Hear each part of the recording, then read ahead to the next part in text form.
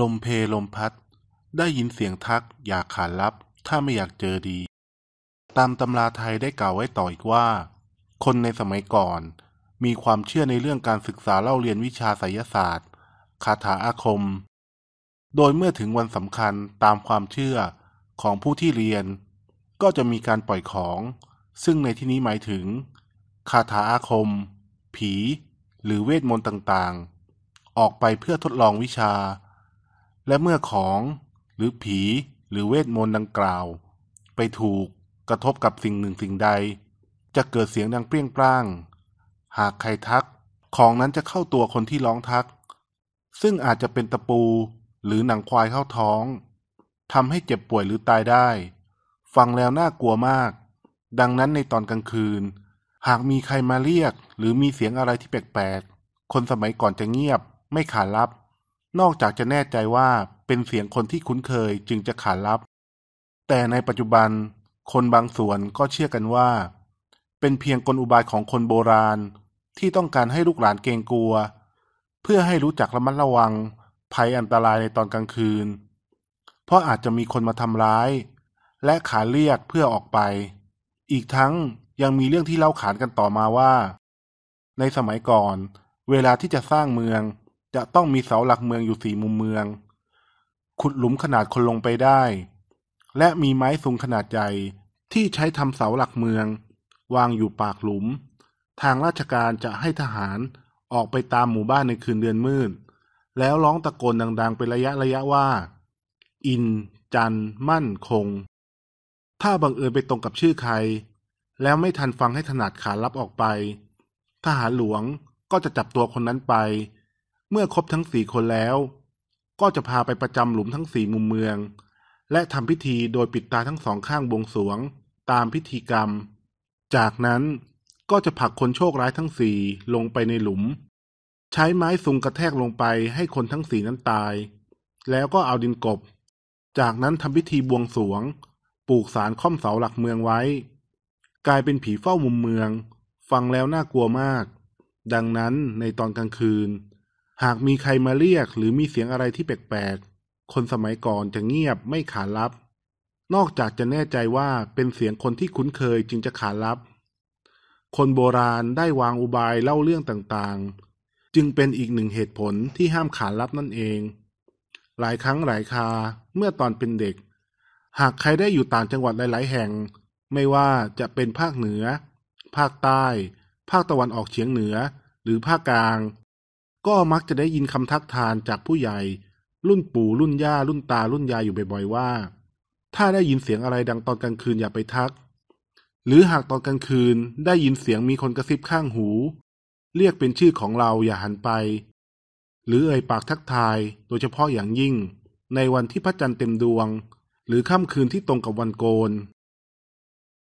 เรื่องลมเพลลมพัดได้ยินเสียงทักอย่าขานรับ ถ้าไม่อยากเจอดี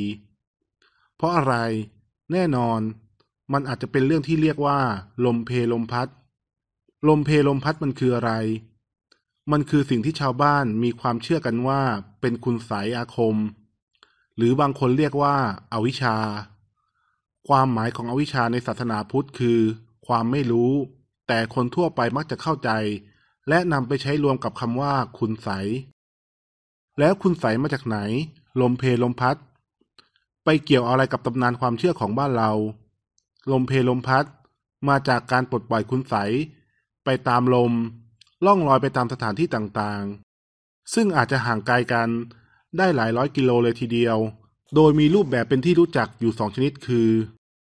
1. ปล่อยคุณไสแบบไม่เจาะจงผู้รับ ผู้ฝึก พ่อมดหมอผีทำการปล่อยคุณไสออกจากตัว หรือปลดปล่อยผีที่เลี้ยงไว้ให้เป็นอิสระ เพื่อระบายความอึดอัด จากการควบคุมเหล่าพูดผีวิญญาณที่ตนได้เลี้ยงไว้ เนื่องจากเป็นวันพระ แต่บางคนปล่อยลมเพลมพัด เพื่อลองของลองวิชาเท่านั้น 2. ปล่อยคุณไสโดยเจาะจงผู้รับ ผู้ฝึกวิชา พ่อมด หมอผีทำการสั่งคุณไสหรือสั่งวิญญาณที่ตนดูแลให้ไปเล่นงาน ติดตามหาผู้ที่เป็นเป้าหมายของตน เป็นที่น่าสังเกตว่า ลมเพลลมพัดที่คนไทยรู้จัก มักจะมีความรุนแรงของคุณไสหรือต้องระวังเป็นพิเศษ คือวันโกน วันพระ หรือวันที่พระจันทร์เต็มดวง อาจเป็นเพราะมีความเชื่อว่า ผลของการใช้อาคมมนต์ดำมักจะมีพลังอำนาจสูงสุด เมื่อวันที่พระจันทร์เต็มดวง เนื่องจากยามค่ำคืนที่พระจันทร์เต็มดวงนั้น มีความน่ากลัวจากแสงสลัว และตามกระแสน้ำที่ขึ้นลงของซึ่งเป็นการแสดงพลังของพระจันทร์ก็เป็นได้ จะเป็นช่วงเวลาที่เหมาะที่จะทำพิธี ซึ่งหากความบังเอิญนี้มักพระจันทร์ที่เต็มดวง มักจะตรงกับวันโกนและวันพระ ในจันทรคติของไทย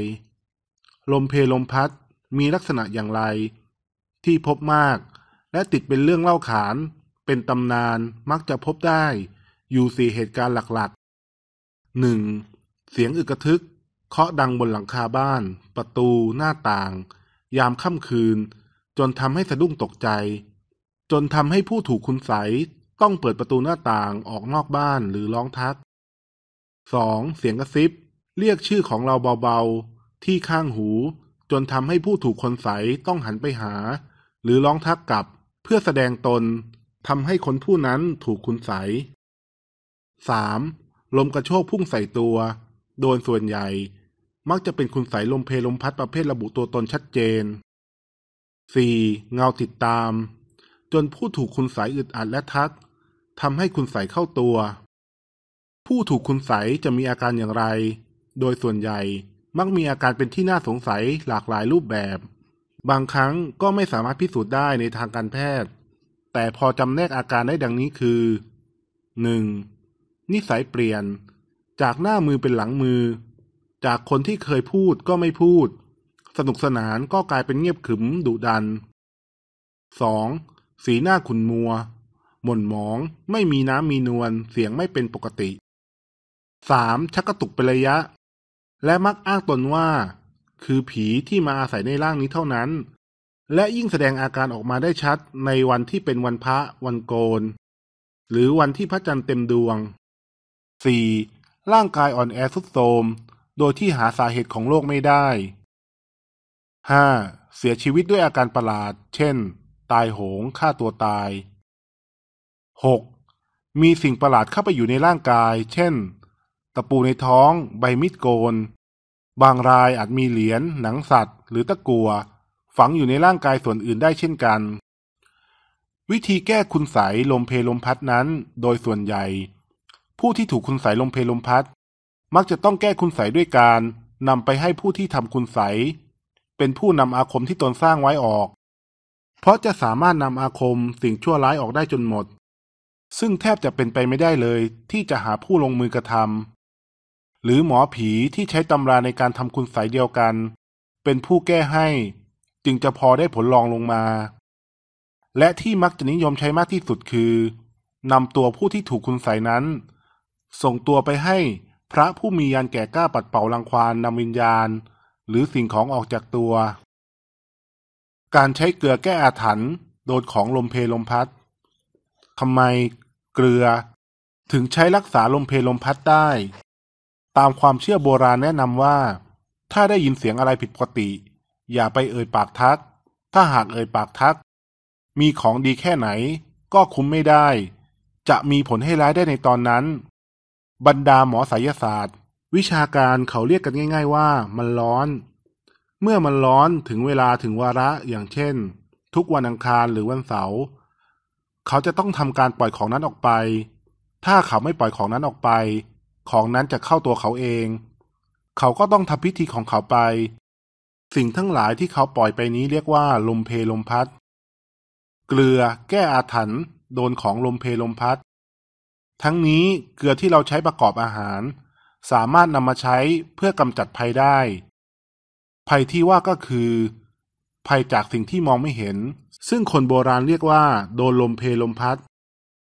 เพียงนำเกลือหนึ่งกำมือใหญ่ๆ ละลายน้ำร้อน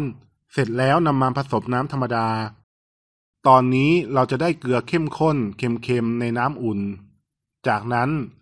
อาบน้ำให้สะอาด เมื่ออาบน้ำเสร็จแล้วนำน้ำเกลือดังกล่าว มาอาบราด ให้ทั่วตั้งแต่ศีรษะจรดปลายเท้า จากนั้นทิ้งไว้3-5นาที แล้วจึงล้างออกให้สะอาด สุดท้ายถ้าอาบน้ำมนต์อีกรอบก่อนเช็ดตัวก็จะยิ่งดี อีกวิธีหนึ่งคือนำเกลือมาใช้ให้เกิดประโยชน์ คือการนำเกลือมาช่วยขับไล่สิ่งอัปมงคล ด้วยศาสตร์ฮวงจุ้ย บ้านเรือนใดมีปัญหามากๆ มีแต่เรื่อง หรือเมื่อเราไปซื้อบ้านมือสอง ต้องการล้างอาถรรพ์ไม่ดีเหล่านั้น ก็โดยการนำเกลือเม็ดมามากๆหน่อย ผสมกับเศษสตางค์กี่บาทก็ได้ เมื่อผสมกันแล้วจึงซัดไปหรือโปรยหวานให้ทั่วบ้าน ทิ้งค้างไว้หนึ่งคืนจึงขวาดให้เกลี้ยง ใส่ในห่อผ้าขาวนำไปไว้วัดหรือคนต้นไม้ใหญ่ อย่างไรก็ตาม และถ้าหากต้องการให้เกลือเม็ด ช่วยกำจัดภัยที่อาจจะมาจากเชื้อโรคหรือสิ่งเลวร้าย เพียงนำเกลือเม็ดใส่ไว้ในภาชนะที่ทำด้วยวัสดุธรรมชาติ และถ้าจะให้ดีควรเป็นวัสดุที่เป็นโลหะ วางทิ้งไว้ที่มุมห้อง ทิ้งไว้หลาย ๆ เดือน หรือทั้งปีก็ได้ นาน ๆ จึงเปลี่ยนสักครั้ง เกลือเหล่านี้จะช่วยดูดซับเชื้อโรคและความชื้น ช่วยให้คนในบ้านแข็งแรง ไม่ค่อยเจ็บไข้ได้ป่วย ลมเพลลมพัดนั้นคือความเชื่อหนึ่งของคนไทย หากได้ยินเสียงอะไร อย่าเพิ่งไปทักหรือได้ตอบ และยิ่งถ้าเป็นไปได้ให้หลีกเลี่ยงห่างจากสิ่งไม่ดีพวกนี้ไว้จะดีกว่า